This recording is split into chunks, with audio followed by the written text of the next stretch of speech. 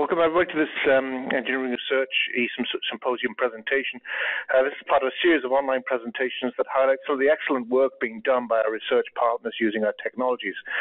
Before we go into today's presentation, I'd like to provide a quick introduction to MapleSoft, why we think it's important to support projects such as these and, and how we do that. Uh, Maple has, MapleSoft has over 30 years of experience in supporting advanced research projects. In fact, the company's core symbolic technology, the, the ability to allow computers to handle problems at the equation level instead of attempting to solve them pu pu purely numerically, was developed as part of a research project in 1980 at the University of Waterloo in Ontario. Since then, many of our highly advanced computational technologies for solving complex analytical problems have had their beginnings in many of the research projects that we've been involved in. Uh, MapleSoft was founded in 1988 to commercialize these technologies through the development uh, of the popular mathematics tool Maple and our powerful multi-domain engineering simulation tool MapleSim. MapleSoft is now a leading provider of high performance tools and technologies for solving a myriad of technical problems in engineering, science, and applied mathematics uh, throughout the world. Our, um, our, software and services touches hundreds and thousands of people worldwide, and we are well known for our expertise in mathematical and system level modeling and analysis. We acknowledge that we can only advance through the support of uh, engineering research projects that require our technologies and have been recognized as a powerful partner in these endeavor, endeavors. Specifically, we can provide guidance and support in the development of research proposals through in-kind and technology contributions, as well as helping to foster relationships with our other industrial partners. Furthermore, we can provide help in skills development of your team members through training and application development support, as well as providing openings for core placements and internships. We also uh, we also recognize that working with our research partners provides a very rich stream of talent that is much needed by ourselves and our industrial partners. Consequently, we have we've hired many engineers to work within our development and support groups and open up opportunities for new hires within our customers and our partners. So, with that, I'd like to uh, pass the um, uh, the uh, the ball over to uh, to our guest, uh, Will McNally. Uh, while we're doing that, I'll give you a bit of an introduction to him. Uh, so uh, Will has gradu- graduated from Memorial University at Newfoundland with a bachelor's degree in mechanical engineering in 2015. In the cooperative program, Will accumulated two years of work experience designing mechanical systems for commercial buildings. Now a master's student in the in the Systems Design Engineering Department of the University of Waterloo, Will is dealing with a different kind. Of, it's really dealing with a very different kind of system, the golf swing. Fittingly, Will is also a member of the University of Waterloo's varsity golf team and has been playing golf competitively, competitively has been playing golf competitively for over 10 years. His research leverages multi-body dynamic simulation software such as MapleSim to simulate the biomechanics of the golfer and optimize golf equipment. He's currently applying his research via an internship at Ping, a golf equipment company headquartered in Phoenix, Arizona. He will return to his academic research in May and plans to submit his master's thesis by the end of 2017.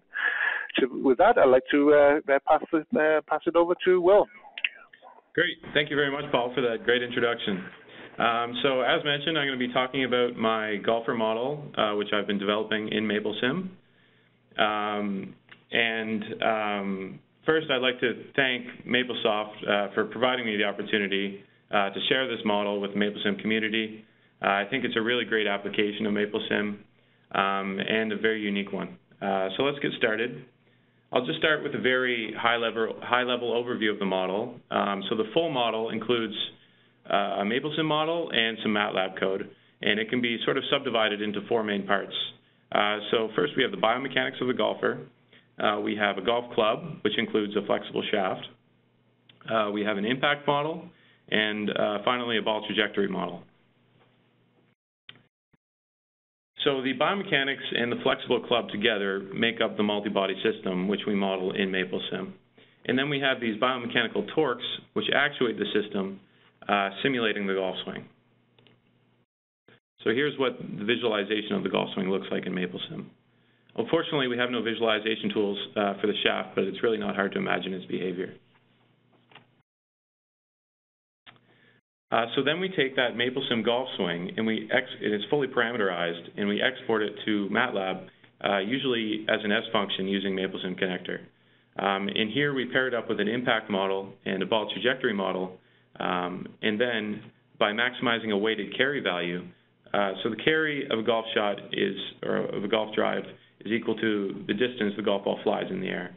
Uh, so by maximizing a weighted carry value, which is our objective function, any component of the golf swing can be optimized. Uh, so for example, we could optimize uh, the biomechanics of the golfer or the, uh, the club properties to improve performance. Uh, so now let's go into each of the model parts in a little bit more detail. Uh, so starting with biomechanics. Uh, biomechanics is made up of four rigid body segments connected by a series of revolute joints. So we have the pelvis, the torso, the leading arm, and the hand. Um, and the center of the pelvis and the top of the torso, or the sternum, are fixed in space. And they're connected by a universal joint, which allows them to each rotate about their own longitudinal axes. Uh, and this is the kind of motion that you need to uh, replicate the kinematics of, of, an actual golf swing. So a great part about this model, um, this biomechanical model, is that these body segments are scalable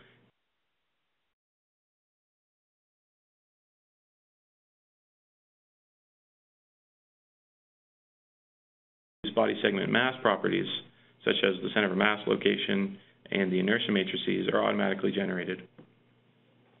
So the golfer has uh, six degrees of freedom. Um, so we have the rotation of the pelvis, uh, we have the rotation of the torso, uh, the shoulder joint has two degrees of freedom, so the arm can move in the horizontal and vertical planes. Uh, we have the supination of the forearm, um, and then finally we have the radial and ulnar deviation of the wrist.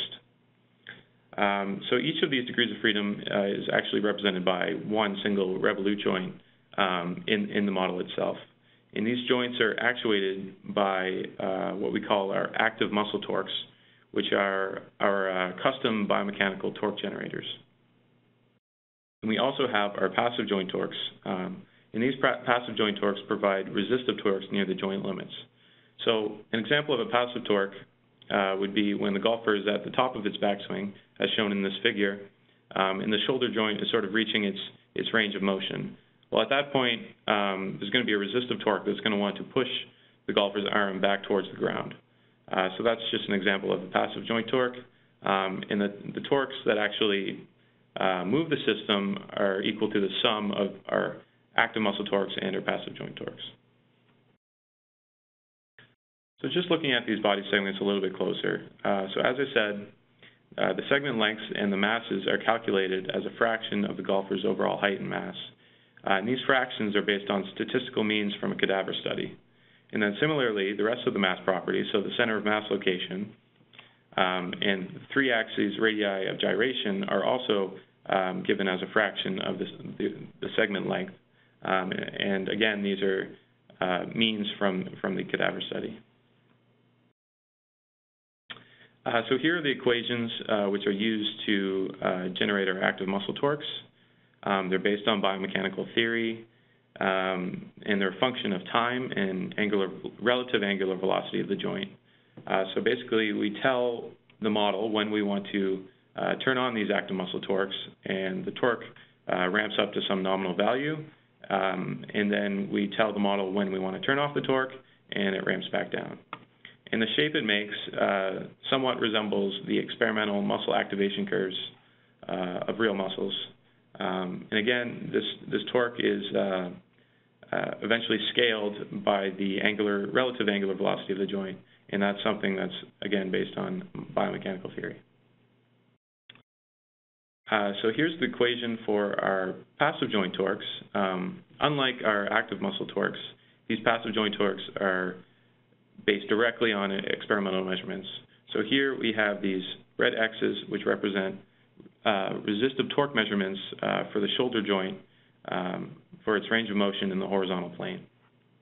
Um, so what we do is we take this equation and we use um, a MATLAB, MATLAB's nonlinear fit function uh, to tune these um, coefficients, which would give us the best nonlinear function to fit this experimental data. And these passive joint torques are applied to uh, all the joints.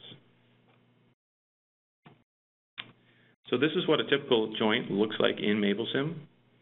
Um, so we have a revolute joint connecting two body segments. Um, we have time. Time is an input to the model. Um, it feeds into our active muscle torques. Uh, we have a relative rotation sensor, which is providing relative angular velocity of the joint to the active muscle torque, and then we can calculate our torque and apply it to the joint. Uh, and for the passive joint torque, we're just sensing the angle of the joint, uh, which feeds into our passive torque, torque equations. Um, and again, this torque is just applied to the joint. Uh, so that pretty much covers all the biomechanics of, of, of this model. Uh, now let's talk about the second part of the model, which is the flexible club. Uh, so for the shaft material properties, we have uh, experimental stiffness profiles for four different golf shafts. Uh, so the experimental stiffness profiles for uh, bending stiffness and torsional stiffness are represented here, uh, and they're plotted uh, from the tip end of, of, the shaft to the butt end of the shaft. Uh, so what we do is we um, use sixth order polynomials to fit the shaft properties, so the area, Young's modulus, area moment of inertia, and the shear modulus. And then in MapleSim, we use the standard flexible beam component and we input the material properties as functions of the flexible beam's x component, or as a function of its length, using these polynomial co coefficients. So here we're defining the area of the shaft. Um, so we have A1, A2, A3, A4, etc. These are the coefficients of our polynomial fits, uh, which are very good fits, by the way. Um, and they're multiplied, and they're a function of uh, the, the flexible beam's x component. So MapleSim 26 in the MapleSim 2016.2 release, uh, they provided this new feature where you could define uh, the flexible beam's material properties in discrete uh, shaft sections. So I wanted to compare this polynomial method uh, with 11 discrete sections, and I found that the polynomials um, really outperformed 11 sections, where the 11 sections sort of provided these extreme deflections which weren't really, really realistic.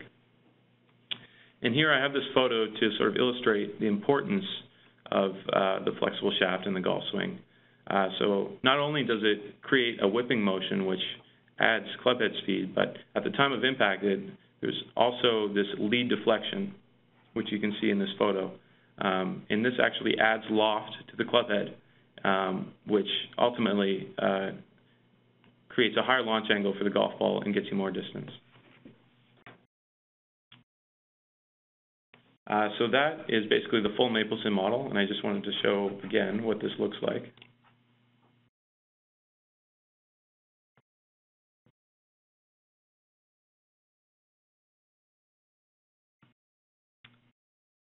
Okay, so now let's assume that we've exported the model. Um, now we pair it up with an impact model. And this impact model is based on impulse and momentum, uh, and with that we need to make a few assumptions. So one, we assume that it's an instantaneous impact, whereas in reality, impact lasts for about half a millisecond. Um, two, uh, we're assuming that it's a free body collision uh, between a rigid club head and ball, uh, so the contact is occurring at a point rather than over a deformed surface. Uh, and three, we assume that the ball is rolling on the club face at the time of separation. Uh, so there's 15 unknowns in this system. We're solving for the linear and angular velocities of the club head and ball and an impulse. And these are all 3D vectors. So we're going to need 15 equations to solve uh, this system. So we get 12 equations from the conservation of momentum, uh, conservation of linear and angular momentum of both the club head and ball. And then we need three more equations. So we can use the coefficient of restitution, or COR, in the rolling condition to relate the final ball velocity to the final club head velocity. So the coefficient of restitution is equal to the final ball velocity minus the final club head velocity divided by the initial club head velocity. And the governing bodies of golf actually limit the COR of a club head to 0.83. So in this model, we set the COR to 0.83. And uh, for the rolling condition, also known as stiction or the gear effect, uh, we're essentially equating the ball velocity to the clubhead velocity um, in the tangential directions. And I have these apostrophes here to note that uh, these velocities are actually taken at the point of impact, which is a really important part because uh, say you have your clubhead velocity Well, it actually has an angular velocity, so the velocity at the point of impact is going to be much different than the velocity at the center of gravity of the club. Uh, so that's a very important aspect of this impact model. So next we have our ball trajectory model. Um, it's an aerodynamic model uh, published by Steve Quintavalla, who's a researcher at the United States Golf Association. Uh, so we have these coefficients for uh, drag, lift, and spin decay, which are uh, were empirically determined. Um, and then we use those coefficients in the forces, in the drag force, lift force, and then this moment force. Uh, and essentially, we use uh, an ODE solver to integrate these forces uh, which are acting on the ball. And what we end up with is a ball trajectory that looks something like this.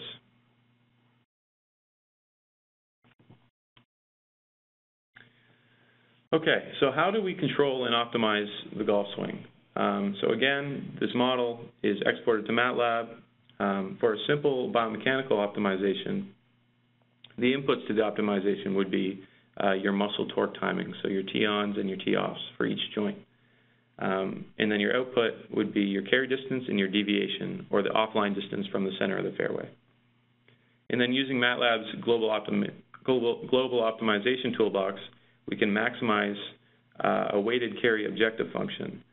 Uh, so here, our objective function m is equal to the actual carry minus this function, which is uh, related to the deviation from the center of the, fair of the fairway.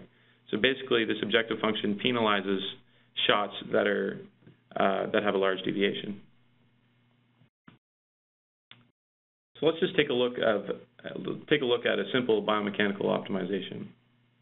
So we have these initial guesses for the torque timings, and I, I came about these uh, torque timings uh, basically by self-tuning the MapleSim model until uh, I found something that resembled an actual golf swing.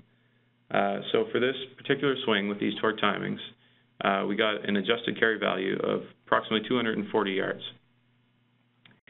And then we perform a pattern search optimization. So pattern search is, is a function in MATLAB's global optimization toolbox that basically uses brute force to uh, test a bunch of different combinations of, of, optimization variables. So it basically does trial and error with all these uh, T-ons and T-offs until it, it finds a combination that provides uh, that minimizes or maximizes an objective function. So after this optimization process, we end up with an adjusted carry value of 230 yards, or sorry, 263 yards. So we, we gained over 20 yards after the optimization.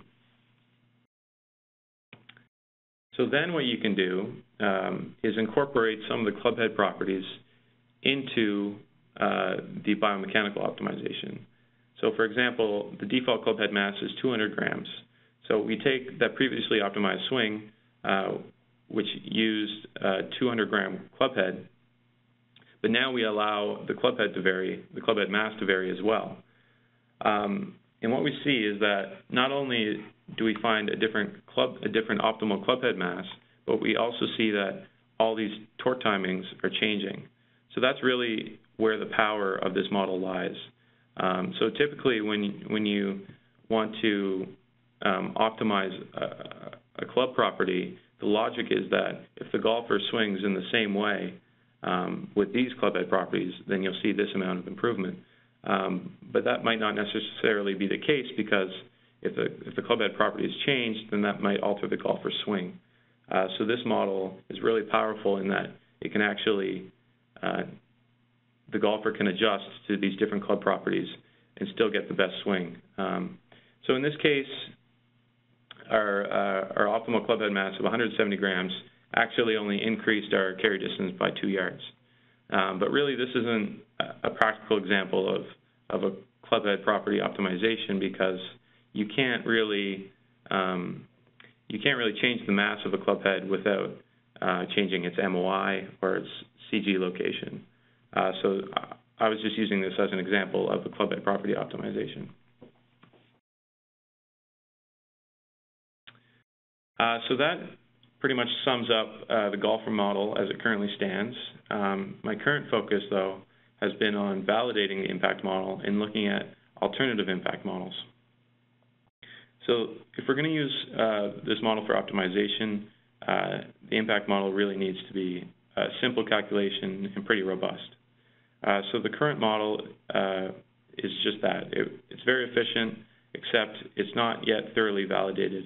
And our initial validation experiments are showing that it's, it's lacking in some aspects. So I've been looking to an alternative impact model, which is based on volumetric contact. Uh, and this model is a little higher fidelity. Um, it's for one, it's it's a transient model rather than being instantaneous. Uh, so because it's transient, that means we can model it in MapleSim, which would be a huge bonus. So let's talk a little bit more about this new alternative impact model.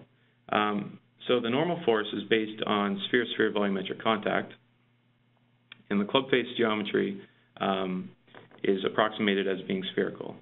Um, and in general, this is uh, true from a club head design standpoint. Um, so the normal force is proportional to the penetration volume between the club face and the golf ball. Um, and then what we can do is we can tune the volumetric stiffness factor and a damping cut factor in order to match up the model's speeds with uh, what we're seeing in experiments. Um, and for this model's friction, we're using a continu continuous velocity-based friction, which was recently published by a colleague in our research group at the University of Waterloo. Um, and it's a function of the normal force and the relative velocity between the two bodies. And the friction constants, uh, there's three of them, uh, can be tuned, in our case, to match uh, experimental spin rates of the golf ball and the launch angle.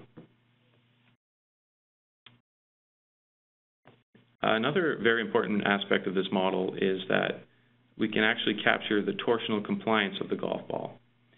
Um, so during impact, uh, the core of the golf ball will sort of coil and uncoil, uh, and this causes a, a reversal in the uh, in the friction force on the club face.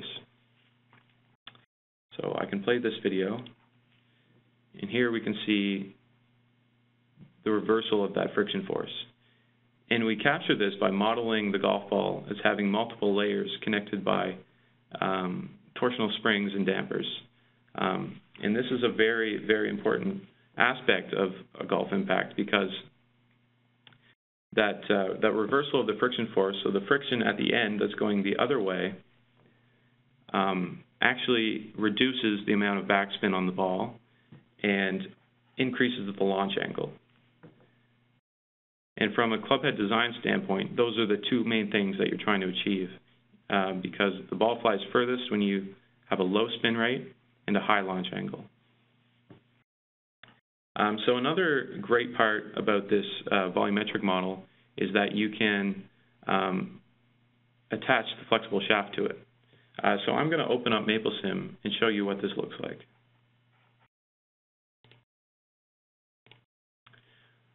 So here we have our sphere-sphere contact model um, in combination with our flexible shaft. And this flexible shaft is rotating about a revolute joint at the butt end of the shaft. Uh, and the, the, axis of the revolute joint is perpendicular uh, to the shaft axis. So let's take a look at it and see what the simulation looks like.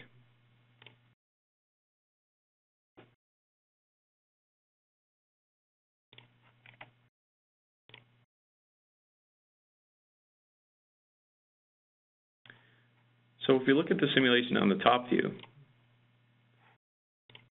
we can see that because the impact is occurring near the toe end of the club, the club ends up twisting a lot.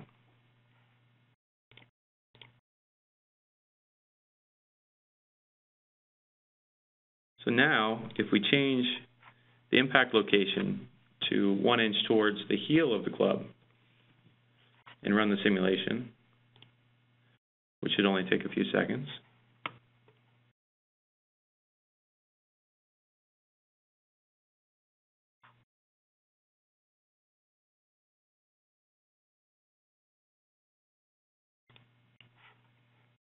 So now the impact location is occurring on the heel of the club. And now we don't see very much twisting of the club head at all. Um, so this asymmetry might cause you to think that maybe the shaft um, could possibly influence the impact. Uh, so that's just another example of how MapleSim can capture this complex phenomenon. Um, and this would be one of the primary examples of how this model outperforms our original impulse momentum model. And with that, uh, I think that pretty much wraps up my presentation for today. Uh, so I'll send it back over to Paul. Many thanks, Will. So, very interesting, powerful uh, example of the use of, the, of our tools.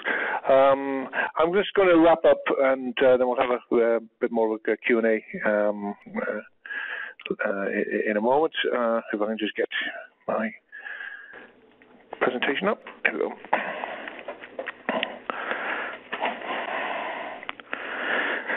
So just to, to wrap up, um, I, I, want to provide a, uh, just a, an, you know, a sort of uh, something of an introduction to the tools that are being used um, in the in this project. Um, so, we'll start with uh, MapleSim as our uh, multi-domain system-level simulation tool. Allows you to build models of complex uh, dynamic systems by selecting and connecting components from a large library of pre-built components, covering a variety of domains like mechanical, multi-body, as we've seen in uh, in Will's uh, example, control controllers, thermal, electromagnetics, and um, and hydraulics. Uh, we also offer specialized libraries for batteries, uh, drive lines and transmissions, tires, advanced hydraulics, and pneumatics. So it's important to know that unlike traditional tools like uh, Simulink, connections between the components represent the physical connections and not just the signals flowing in um, in one direction or another. This greatly simplifies the modeling task and dramatically reduces the complexity of the resulting block diagram.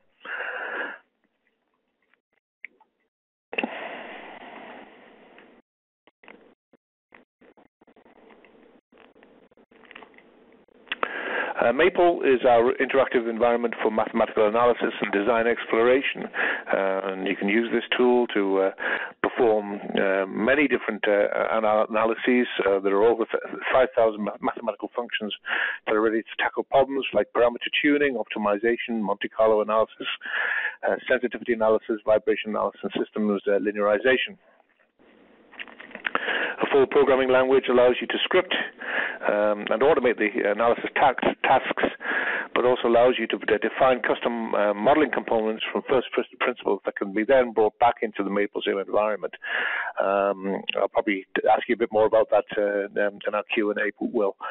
Uh, the Maple document interface allows you to easily capture every step you take, and the resulting interactive documents are easy to share, review, validate, and reuse throughout your, your product design or um, within your Systems. In all, Maple provides you with a rich and powerful environment for design exploration and capturing the knowledge behind it. System level models are an essential ingredient in verifying and validating a design. Uh, these models can be deployed to a real time environment. Um, and these can be connected with a controller or sensor hardware or, um, um, used within uh, further analysis tools like MATLAB Simulink um, for, for, for, further um, uh, analysis. In, in, in, this particular case, uh, the optimization of the um, uh, of the, the, the, swing design. Really uh, unique to us is that the ability to generate extremely fast simulation code, which gives you a lot of flexibility to use uh, for for, uh, for more de- detailed, detailed models to meet um, real-time constraints or execution constraints. Um, finally, the um, uh, we um, Will talked about the, uh, the, the, generating Simulink S functions. We also support the uh, uh functional mockup interface or FMI, which is now becoming an industry standard uh, for um, uh, opening up additional opportunities for integration with a growing range of supported tools within your tool chain. Maple and MapleSim are very powerful tools and enable a um, model-driven innovation process in your engineering research work. Um, and this just gives us a summary of the uh, what's available to you, uh, not just Maple and MapleSim, but all the various add-ons that allow you to get to get to where you need to go uh, with your uh, with your projects. And effectively to make your your uh, your project successful, do more with less time, reduce project risk, and produce better better results, uh, more rigorous results um, as a result.